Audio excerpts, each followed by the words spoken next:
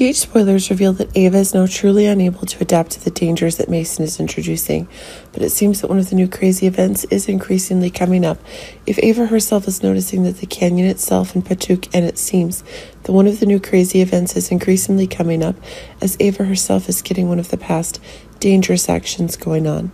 Actually, one of the truths that Mason is controlling, and it seems that one of the truths about the room being controlled by Ava herself, as she seems to be finding new familiarity within herself, existing conditions.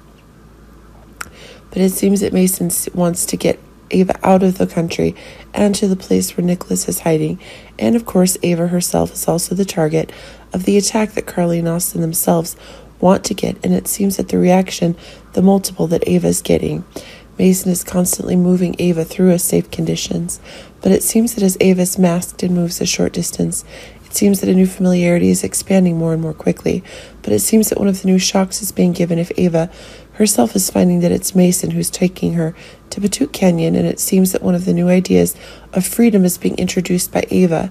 But it seems like one of the new ideas Mason is getting, if it's true that Mason is taking orders from Cyrus to kill Ava.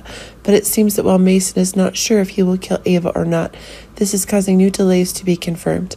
Remember that one of the new attacks that Mason is giving Ava is causing one of the growing fears of danger, and this is causing Ava herself to need one of the new control actions or being acquired.